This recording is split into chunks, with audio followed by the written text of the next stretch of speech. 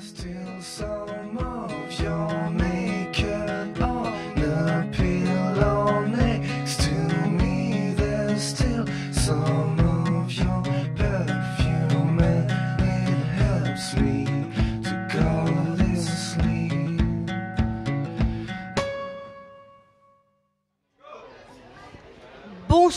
Et bienvenue au Ciné Club du 16e édition du festival Off Court de Trouville.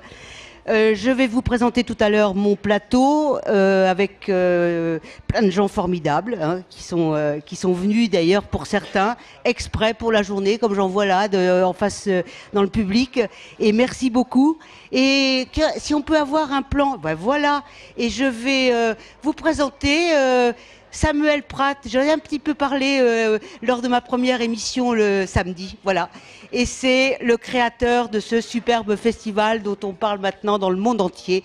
Et croyez-moi que là, c'est parti pour être un très très très grand festival. Et cette année, on a cru aussi bien pour le, bloc euh, de nos amis euh, québécois que pour le bloc français.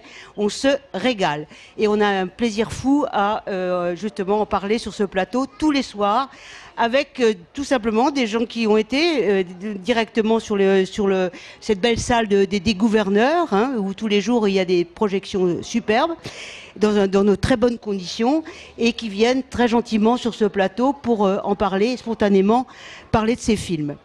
Eh bien, donc, avant même de, vous présenter tout le monde, je vais demander à Quentin de nous lancer la programmation de ce France 3 que je rappelle qui va être rediffusé euh, à la salle des gouverneurs. Yes, il est parti.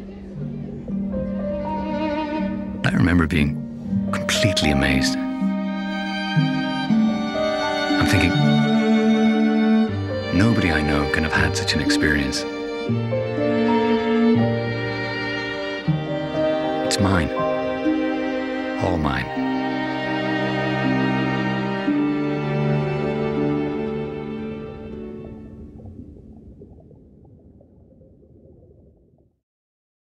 Bonjour Léna, Bonjour Madame Dubreuil. est-ce que tu sais pourquoi on se voit aujourd'hui? Oui Oui? Pour essayer de trouver un métier à qui pourrait te correspondre. Est-ce que tu as déjà une petite idée? Oui. Photographe. Photographe. Mm. Tu pratiques déjà? Oui, euh, les soirs en rentrant du collège, euh, je monte au grenier, j'allume euh, une mandarine. Une mandarine? Ah oui, pardon, c'est une mandarine, c'est un projecteur. Ça ressemble, euh, je pense qu'on l'appelle comme ça parce que ça ressemble à une, une, une mandarine géante. D'accord. Après, euh, je place un objet euh, et je prends des photos. Tu es une vraie professionnelle. Ça va? T'as l'air bizarre? Ah, ça fait quand même quelque chose, non? Pas toi? Hein? Si, si, bien sûr, ouais, ouais. Mais dire qu'il était encore vivant pas plus tard que ce matin et que maintenant il est mort, c'est. Ouais, c'est souvent comme ça, tu sais. Ouais, mais si brusquement quand même. C'était vraiment un chic type, hein, pas vrai Sûr. Un gars comme on n'en fait plus. Bah, c'est toujours les meilleurs qui partent les premiers, hein. On n'y peut rien, c'est comme ça. C'est drôle comme le fait de mourir, ça rend tout de suite les gens plus sympathiques. Tu trouves pas? Comment ça? Bah, euh, c'était quand même pas un marrant, copie. Non, c'est vrai que c'était pas sa première qualité, non. c'est le moins qu'on puisse dire.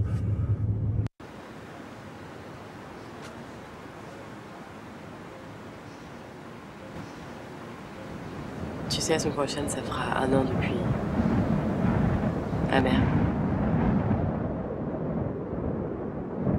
Putain,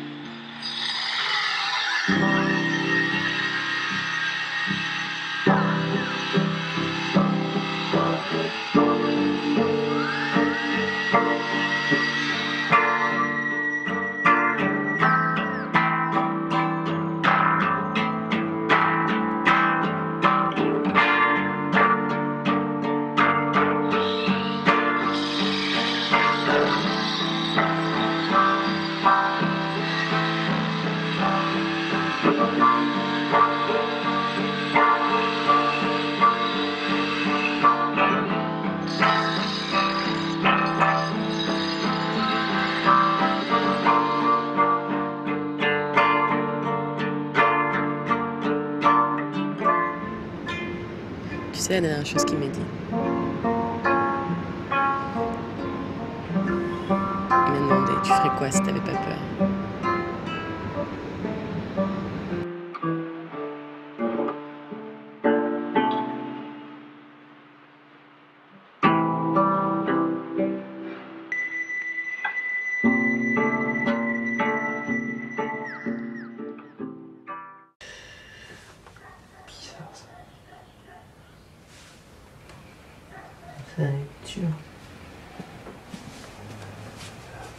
Que tu vas rester combien de temps là Hein Euh.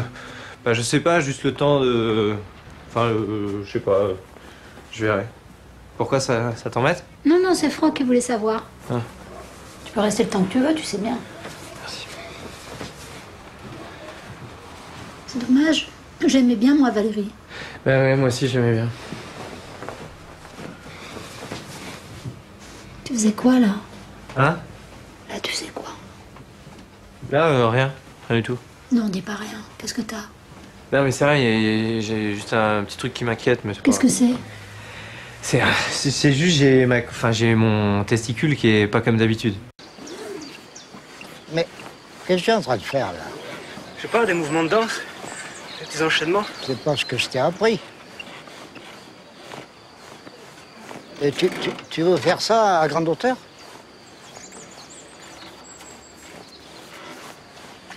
Non, Ton numéro aérien n'est pas bien Si, il est bon.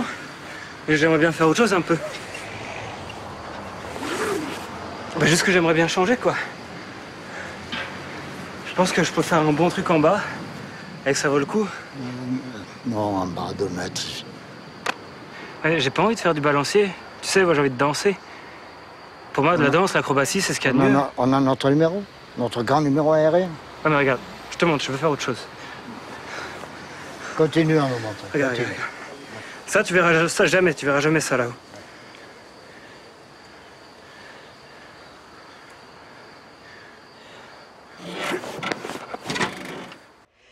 Bon, ben, vous voyez qu'avec euh, ces quelques extraits, on va avoir le, la possibilité de nous exprimer euh, très largement sur euh, ces créations très diverses et, et très intéressantes toutes. Alors, je vais vous présenter mon plateau et pratiquement, je crois que pour tout le monde, c'est le premier Trouville, c'est formidable. Hein. On fait euh, des choses, euh, tout le monde est un petit peu euh, anxieux d'avoir été pour la première fois sur ce festival, mais je crois que tout le monde est content et heureux d'avoir participé déjà à plein de choses, notamment, on va en parler tout à l'heure, à des kinos. hein. Alors, à ma gauche, Iris Launay, qui est euh, en licence de graphisme. Donc, je présume que le cinéma, ça lui parle. hein. D'ailleurs, on a beaucoup d'étudiants en graphisme euh, souvent sur ce plateau, et c'est formidable, ça. Donc euh, ensuite à ma gauche Grégory Join qui lui est un cinéphile mais qui euh, mais qui par ailleurs euh, fait du commerce je crois hein, mais il aime bien venir aussi à, Trouville il est content d'être là je crois hein, et, euh, et donc euh, d'avoir vu donc aussi ces, ces films en projection. Euh, à ma droite, un tout nouveau également dans ce festival, Marc Nolo, qui lui est distributeur d'un des films dont nous- allons euh, parler tout à l'heure, She Walks, et qui va nous parler un petit peu de cette distribution d'un court métrage, hein, parce que ça aussi c'est un métier à part entière de, savoir euh, mettre en place une distribution de cours. hein. Voilà. Euh, à côté de lui, Solal Boutou, qui lui est en master aux Beaux-Arts du Mans et qui est bien évidemment euh, fait du cinéma et, aime le cinéma. hein. Et donc, euh, à ses côtés, euh, Jean-Baptiste Clarinck, qui lui-même également sort d'une école de cinéma, de, licence aussi de cinéma, et qui a déjà fait plusieurs courts-métrages, et qui, avec tous les gens ici présents qui viennent tous du Perche, là, je les remercie vraiment d'être venus, ils ont fait leur premier kino euh, hier. Voilà. Donc, vous voyez la belle, la belle aventure euh, de, ce off-court. Alors, euh, pour, on va parler du premier film, et si Thomas peut me le lancer, L'étourdissement, hein, qui est donc le premier film qui a été réalisé par Gérard Potonnier avec Arthur Dupont, Philippe Duquesne, Pascal Arbillot. Alors en fait, euh, l'histoire euh, résumée euh, très rapidement, hein, c'est suite au décès accidentel d'un des collègues de travail.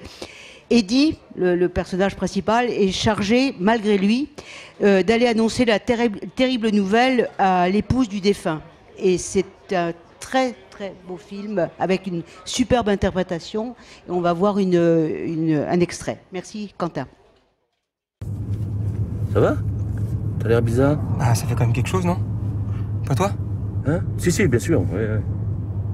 Mais dire qu'il était encore vivant pas plus tard que ce matin, et que maintenant il est mort, c'est... euh, Ouais, c'est souvent comme ça, tu sais. Ouais, mais si brusquement quand même. C'était vraiment un chic type, hein, pas vrai? Sûr. Un gars comme on n'en fait plus. Bah, c'est toujours les meilleurs qui partent les premiers, hein. On n'y peut rien, c'est comme ça. C'est drôle comme le fait de mourir, ça rend tout de suite les gens plus sympathiques. Tu trouves pas? Comment ça? Bah, euh, c'était quand même pas un marrant, copie. Non, c'est vrai que c'était pas sa première qualité, non. c'est le moins qu'on puisse dire. Alors Grégory, je crois que vous avez... euh, Moi j'ai bien apprécié ce film, je l'ai trouvé très émouvant.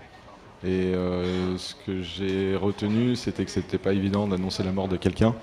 Euh, surtout euh, de la façon qu'ils sont arrivés là chez, la femme du défunt. Euh, ils savaient pas à quel moment fallait dire euh, qu'il était mort.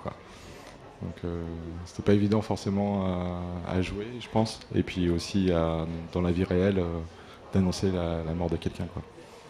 Bah oui, en plus, ça part d'un- accident assez brutal. hein, euh, Dès le départ, euh, enfin, les, premières images sont, assez violentes. Et puis après, effectivement, euh, ben, il, faut que, il faut aller.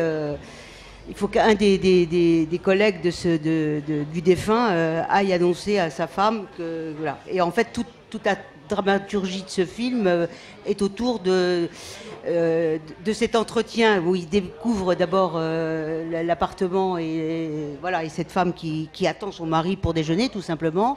Et en fait, euh, bon, euh, plus ça va et, et moins c'est facile d'intervenir parce que arrive à, une, véritable Enfin, il y a une sympathie qui est en train de se créer entre, entre, eux et cette femme, et ils n'arrivent pas du tout à, aucun moment trouver les mots pour arriver à. Bon, puis il y a aussi l'antagonisme entre les deux personnages qui sont effectivement les deux, euh, les deux, enfin, les deux garçons qui sont censés euh, annoncer cette nouvelle euh, ont des personnalités aussi très antagonistes et très différentes.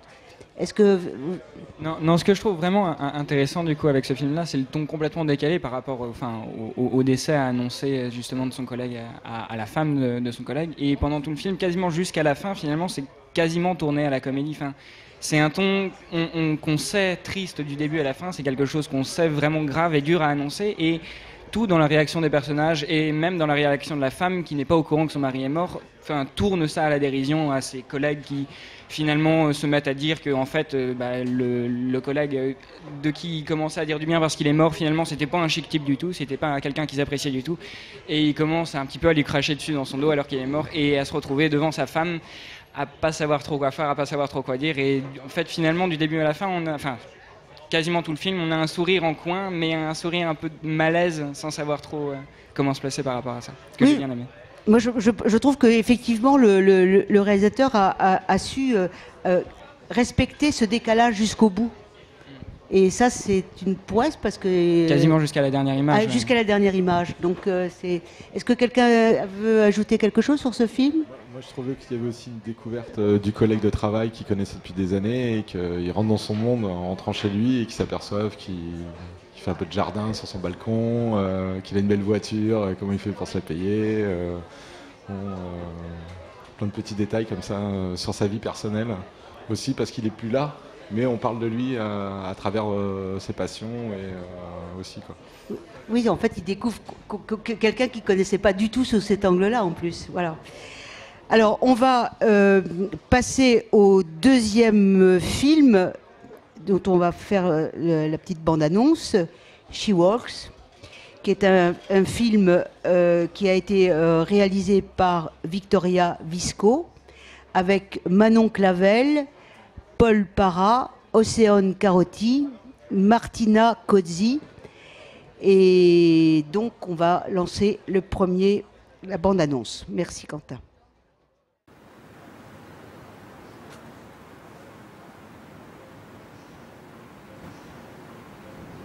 Tu sais, la semaine prochaine, ça fera un an depuis.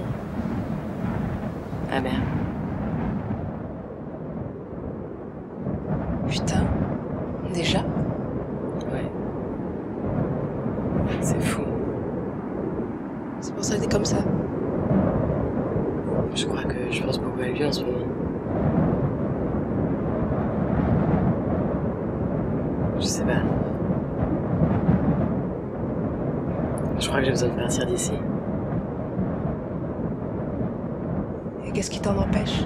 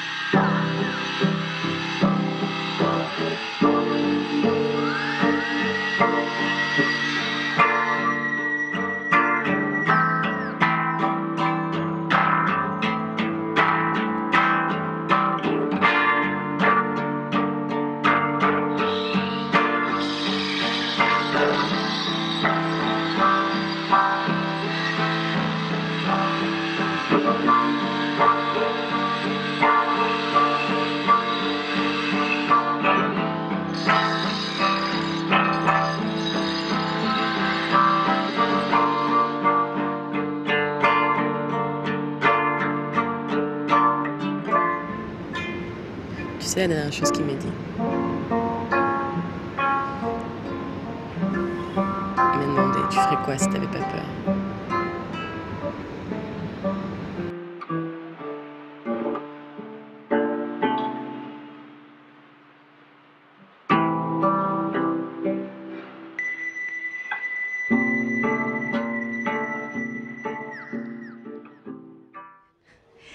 Marc Nolot, qui est le, le redistributeur de ce Oui, ça va. film, qui a été donc, vous disiez, euh, tourné à Bobigny. Oui. Et C'est un, fi- film de, de fin d'études en fait, Euh, la plus ou moins autobiographique. Euh, la réalisatrice en fait est d'origine brésilienne et elle est venue faire ses études de cinéma euh, à Paris, euh, à l'écart. Et donc c'est son, premier film et c'est un film justement qui porte aussi sur le, courage qu'il faut, ou, les choix ou le courage qu'il faut avoir pour, euh, pas pour voyager mais pour, pour partir euh, tout simplement. Et, euh, c'est l'histoire d'une jeune fille qui habite à Bobigny, qui a ses amis, qui a son copain et puis qui ressent le, besoin de partir. Que feriez-vous si vous n'aviez pas peur Voilà, c'est Hein, c'est la ça. question centrale. Moi, j'en ai aucune idée, mais, mais Marion, dans le, dans le film, bah, elle part. Ouais. Et donc, c'est un film qui a été tourné en combien de temps? Euh, en assez peu de temps, Ouais. pas beaucoup. Oui, c'est- très- peu de- Court métrage, ça prend assez En fait, peu de temps c'est des- c'est- un tournage. court-métrage école, quoi. hein, oui, voilà, c'est ça. c'est son premier euh, film. C'est son premier. Qui, qui tourne en festival, qui, a eu, qui, qui plaît assez, qui a été sélectionné à Rotterdam notamment, à Hofcourt, euh, et euh, dont on est très content, avec des très belles images euh, et, et une évocation de la banlieue parisienne qui est pas qui est pas commune parce que c'est le regard aussi d'une brésilienne sur euh, sur la banlieue parisienne et on n'est pas habitué à, à avoir des images lentes par exemple Oui, il y a beaucoup de, gra- de- de grands ralentis. euh, Ouais, voilà, et avec des cadrages très. Et puis par exemple, généralement quand on, quand on filme les cités, on met du rap. Euh, ici, euh, la musique, c'est plus une petite guitare, euh, ce, ce genre de choses. Enfin, c'est vraiment un regard assez différent aussi sur, euh, sur la banlieue. Iris, vous vouliez parler de ce film? Oui, non, c'est vrai que. Ah, la pauvre, elle, elle a trop chanté cette nuit, elle peut plus parler. Oui, non, c'est chouette que. C'est vrai que je l'ai trouvé très, très, très chouette. Et c'est vrai que. Aujourd'hui, de plus en plus de. Enfin, notre génération, c'est vrai que. On a, aussi besoin de. toujours découvrir. euh, On en a. On peut pas rester trop en place. On a besoin de toujours euh, essayer d'aller voir ailleurs, essayer de, changer d'air et de. Et voilà, on se pose beaucoup de questions sur, euh, sur la vie, sur la mort, sur plein de choses. Et là, dans ce court métrage, je qu'il y a aussi le parallèle avec l'ami qui se suicide, etc. Et, et c'est vachement bien, voilà, dans, dans le sens de c'est pas forcément partir en voyage, c'est juste partir, changer, faire une décision, enfin, faire un, faire un choix, prendre vraiment une décision qui aura un impact dans nos vies. Quoi. Et c'est vraiment, euh, vraiment un beau, beau court métrage, très émouvant. Oui. Oui. moi Oui. Euh, oui, moi j'ai trouvé que c'était très très émouvant. Comme tu l'as dit d'ailleurs, techniquement c'est c'est très abouti. Et c'est ce que je disais tout à l'heure à, à mon collègue. C'est très rare de voir euh, quelqu'un parler comme ça des banlieues. C'est-à-dire que très facilement, l'écueil des courts-métrages français, c'est de rentrer dans du rap, c'est on rentre plein dans la banlieue, regardez, c'est horrible, c'est ci, c'est ça, c'est en marge du monde. Et elle, je trouve que vraiment, elle, amène une dimension poétique, elle amène autre chose, elle amène une lenteur dans les images, mais qui est, jamais lente dans la structure ni dans l'histoire. C'est on prend le temps. Et franchement, pour ça, c'est c'est vraiment, vraiment très abouti. C'est une lenteur maîtrisée. Oui, parce qu'on on aurait pu avoir peur un petit peu de, l'utilisation systématique du ralenti, et finalement, euh, on rentre dedans. On rentre dedans parce que c'est dans, son écriture, sa poésie justement de, cette, quête. Et, en fait, c'est un film dans lequel on ne décroche pas.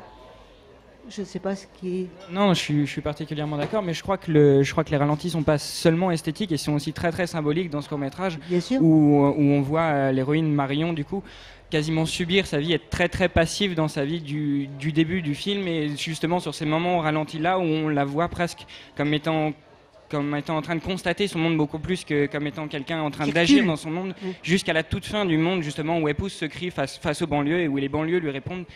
Symboliquement c'est presque comme si elle se mettait à agir dans le monde en s'en allant plutôt que simplement se contenter de le constater et de le voir. Et ça je trouve ça très intelligent, très malin et très beau surtout. Oui. dans.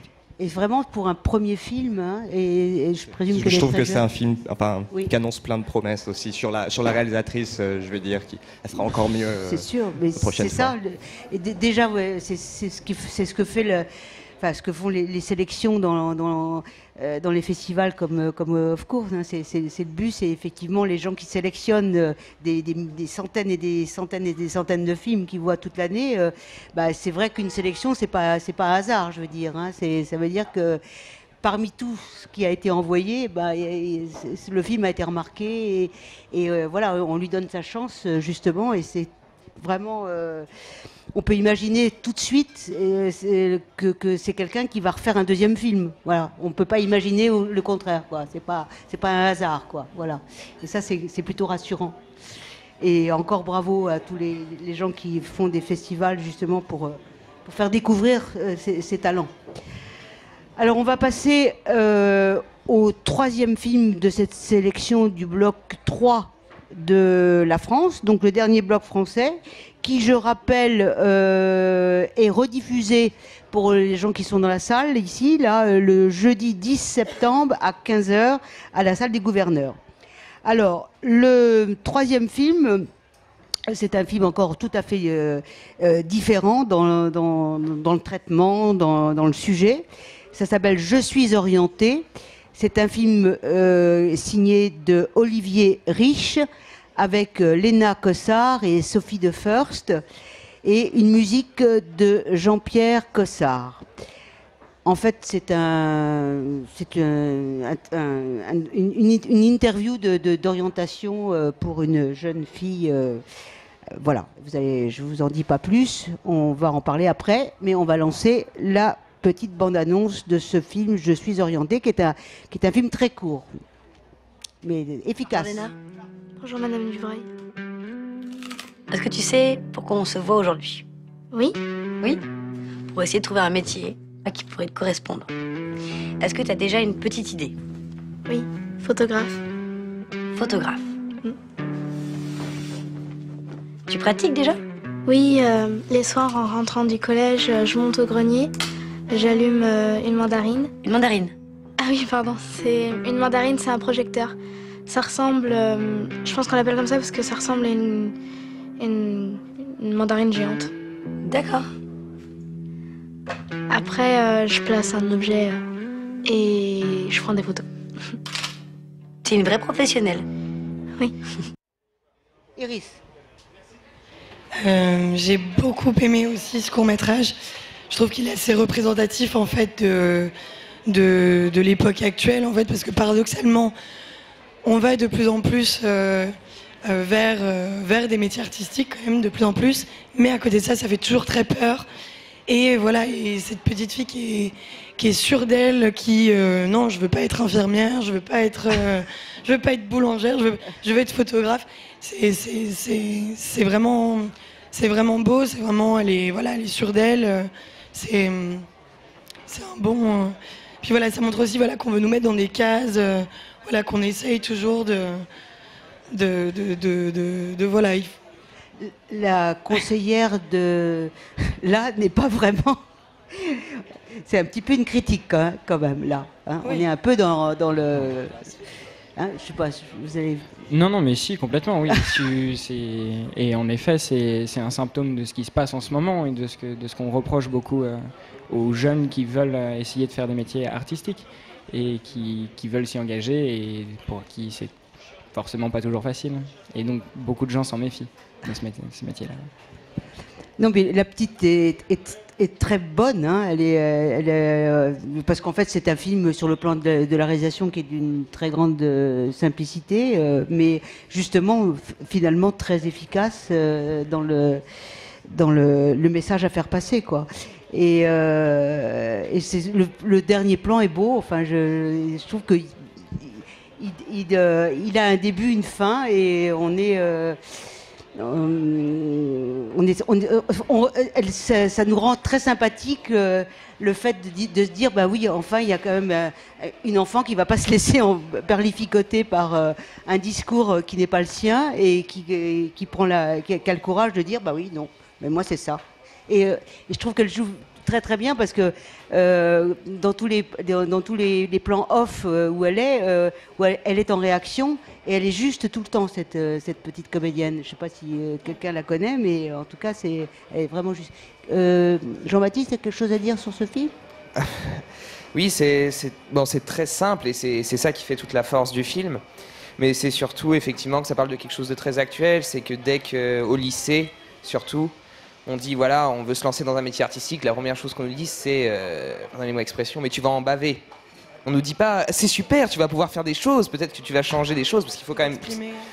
Je sais pas, le, cinéma a quand même fait bouger beaucoup de choses à travers le monde et même à l'heure actuelle avec Internet, c'est- un médium, euh, l'image, quelque chose d'incroyable. Et c'est vrai qu'en France, on a encore beaucoup l'impression que c'est le mouton noir. Euh, on peut faire des sculptures euh, qu'on peut exposer n'importe où et qui sont pas forcément belles, mais dès qu'on veut s'exprimer avec de l'image, ça y est, c'est pas possible. Et c'est pour ça que je trouve qu'effectivement, il a un, début, un milieu et, surtout une fin très belle et très efficace. C'est un vrai petit cri de révolte pour, euh, pour tous les jeunes qui veulent se lancer là-dedans. Ça, ça- ça fait un bon dialogue avec She Walks, parce que finalement, les deux parlent de la même chose, de, de la capacité à s'assumer et à dire je prends position, c'est ma vie, mon bateau, et je mène ma barque comme je l'entends. Donc pour ça, c'est très très fort.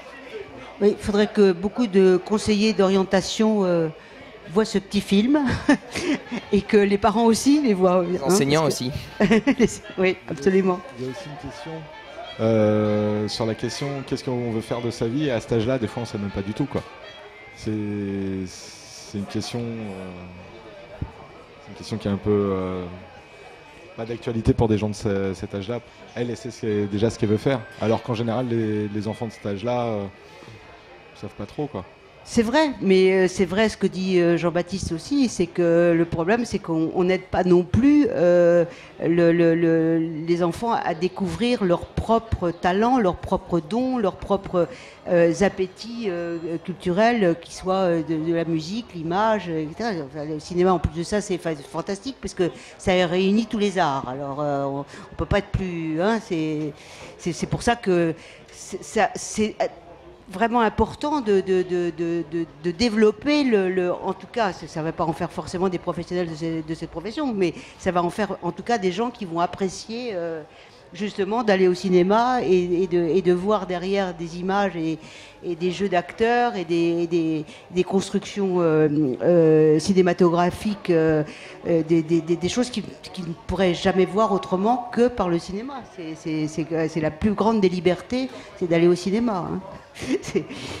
Alors, on va euh, passer au quatrième euh, film de ce bloc français, qui est un film qui s'appelle La couille.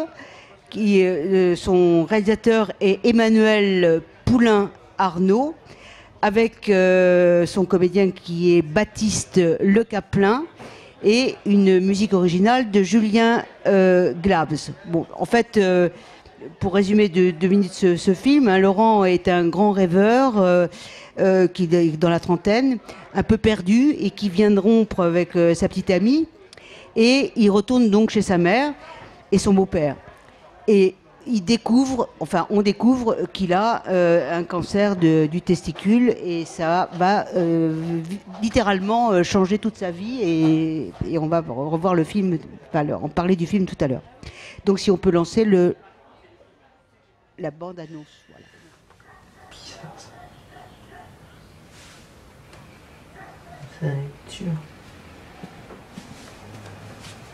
Tu penses que tu vas rester combien de temps là Hein Euh. Bah, je sais pas, juste le temps de. Enfin, euh, je sais pas. euh, Je verrai. Pourquoi ça, ça t'embête? Non, non, c'est Franck qui voulait savoir. Ah. Tu peux rester le temps que tu veux, tu sais bien. C'est dommage. J'aimais bien moi Valérie. Bah ouais, moi aussi j'aimais bien. Tu faisais quoi là? Hein? Là, tu sais quoi? Là, euh, rien. Rien du tout. Non, dis pas rien. Qu'est-ce que t'as? Non, mais c'est vrai, j'ai juste un petit truc qui m'inquiète, mais. Qu'est-ce que c'est? C'est c'est- c'est juste, j'ai ma... enfin, j'ai mon testicule qui est pas comme d'habitude. Je crois qu'on va se battre sur ce plateau pour parler de ce film, apparemment, euh, qui. Alors, qui est un Jean-Baptiste, allez. Parlez pas de ce film, mais c'est pas grave. Alors, la couille. euh, Je savais. Bah, après, c'est toujours très intéressant dans un film de prendre un acteur euh, un peu à contre-emploi. On avait déjà eu ça avec le cas de Foudroyer avec Arnaud de sa mère. Et là, de voir Baptiste Le Caplin dans un rôle un peu plus euh, dramatique, parce qu'on l'a vu surtout dans Bref, où il jouait le, colocataire ou en tant qu'humoriste. C'est vrai que là, de voir dans un rôle un peu plus dramatique, c'est toujours plaisant de voir ce qu'un acteur qui, comme on l'a vu précédemment, peut être formaté, euh, peut produire dans, un autre registre. Donc en ça, je trouve que sa prestation est, très très bonne et très juste. Euh, Bravo à la, ou à là ou au réalisateur, Emmanuel, je sais pas. Mais après, le seul reproche que j'ai à faire au film, c'est rythmique. C'est un peu lent à des moments, et à des moments, c'est trop rapide. C'est-à-dire qu'il il mise énormément de vitesse sur les scènes d'humoristique, sur les quiproquos, sur les scènes où il y a beaucoup de monde, ce qui fait qu'on on perd un peu d'informations de plus en plus. On est, euh, complètement assailli d'informations et d'humour. On est là, on, commence à rigoler, mais il y en a tellement qu'on sait même plus où donner de la tête. Et après, ça se ralentit tout d'un coup, et on est là, on dit bon, à quand le prochain rire? On l'attend un petit peu au tournant. Voilà. Est-ce que c'est l'analyse de notre euh, ami Solal?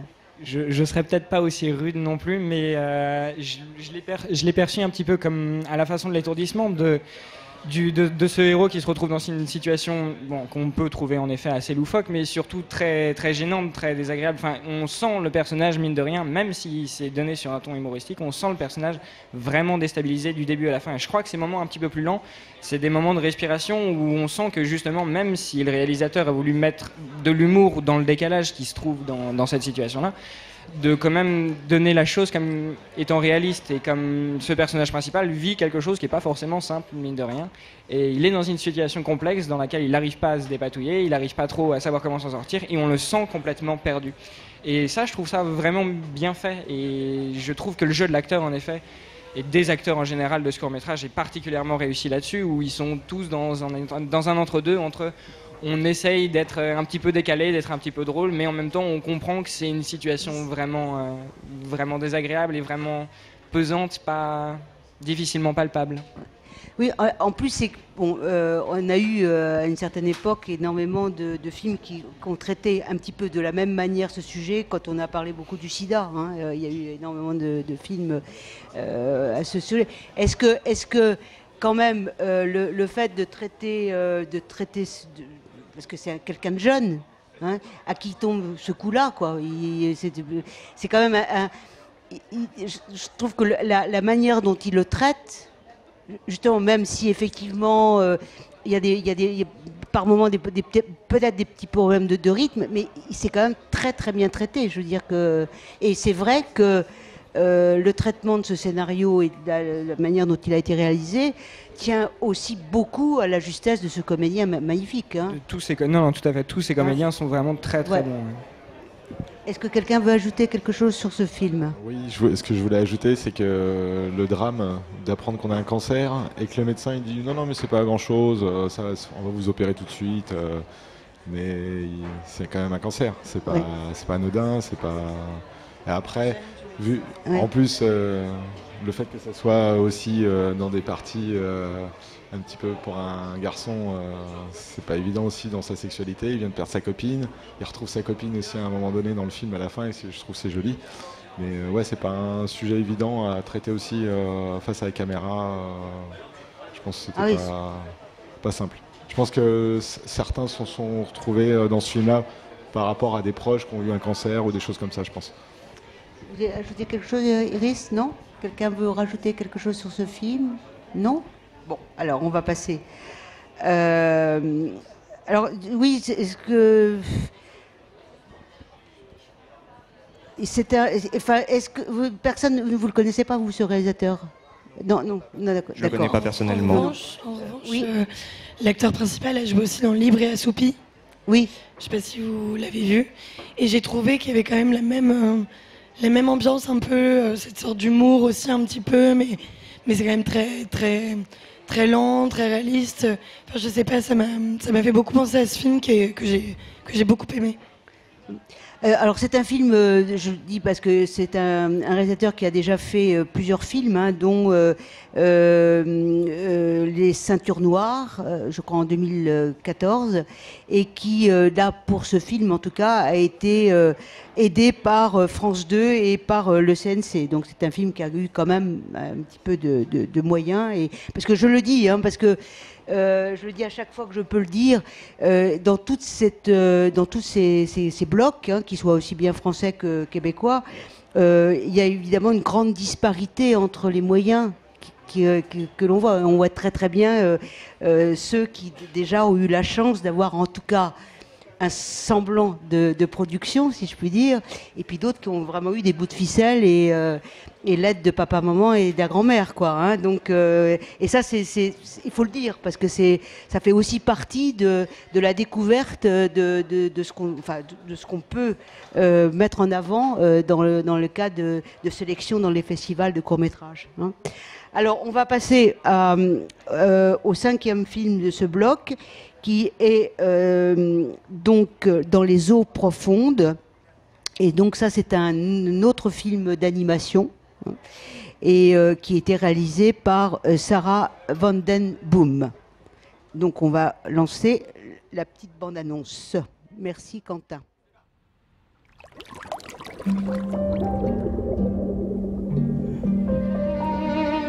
I remember being completely amazed. Thinking, nobody I know can have had such an experience. It's mine. All mine.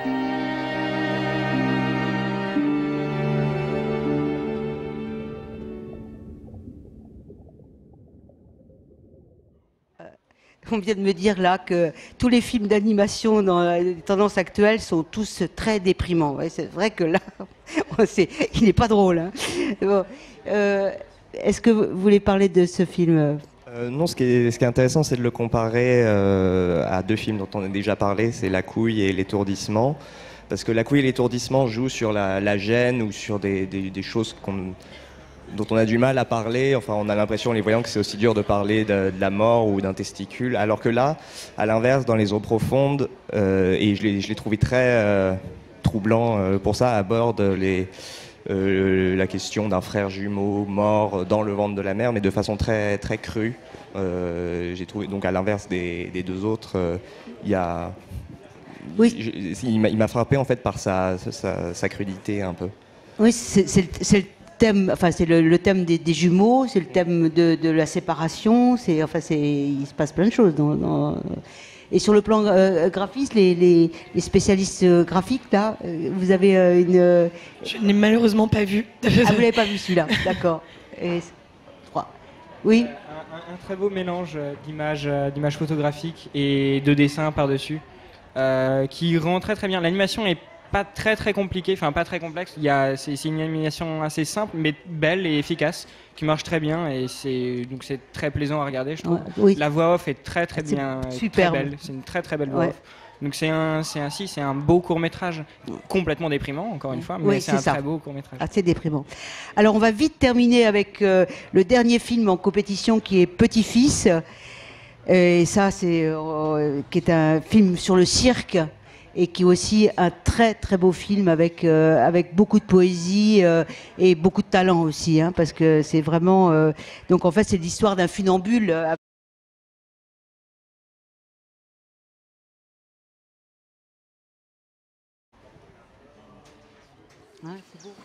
Mais qu'est-ce que tu es en train de faire là? Je sais pas, des mouvements de danse, des petits enchaînements. C'est pas ce que je t'ai appris.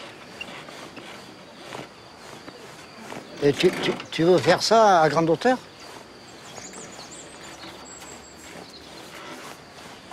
Non, Ton numéro aérien n'est pas bien Si, il est bon. Mais j'aimerais bien faire autre chose un peu. Bah, juste que j'aimerais bien changer, quoi. Je pense que je peux faire un bon truc en bas, et que ça vaut le coup. Non, en bas de mètres. Ouais, j'ai pas envie de faire du balancier. Tu sais, moi j'ai envie de danser. Pour moi, de la danse, l'acrobatie, c'est ce qu'il y a de On mieux. a, on a notre numéro Notre grand numéro aérien Ah, mais regarde, je te montre, je veux faire autre chose. Continue. Regarde, continue. regarde. Ça, tu verras ça jamais, tu verras jamais ça là-haut.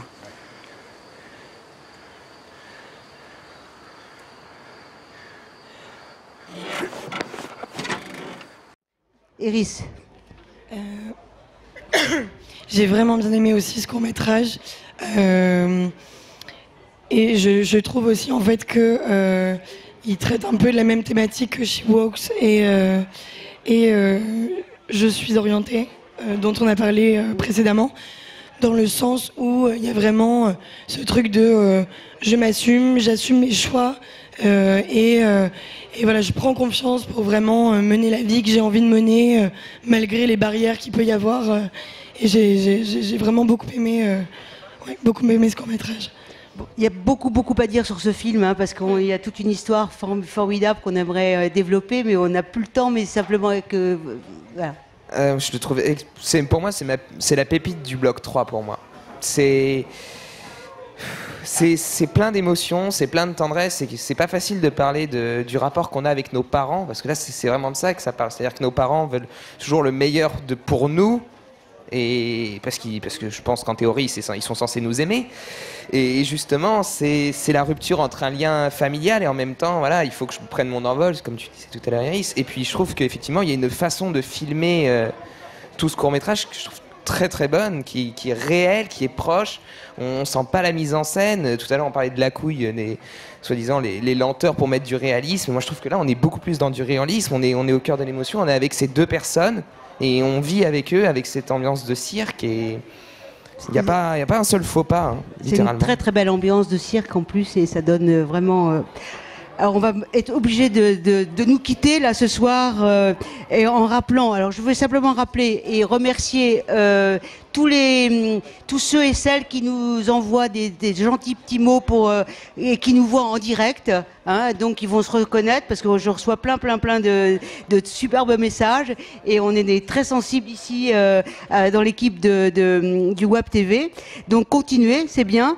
Euh, je voulais aussi préciser à Jeanne Tachant, qui est la réalisatrice de, qui n'est pas là, hein, mais qui était là, et qui a vu en tout cas notre émission, et on a parlé beaucoup de son film Appartement à vendre, et elle était très contente de ce qu'on lui, a- ce qu'on a dit sur ce plateau. Donc, euh, bah, euh, je rappelle que on, voilà, on a été très heureux aussi d'en parler. Et euh, je précise effectivement qu'il avait été dit, quelqu'un avait dit sur le plateau que c'était elle qui jouait le, le- le rôle principal. Et bien évidemment, c'est Julie Méjean qui est son interprète de ce très beau film. Voilà. Donc je voulais préciser ça et continuer à nous écouter et continuer surtout à aller euh, dans la salle des gouverneurs voir tous ces films. Ce soir, il y a même euh, une projection.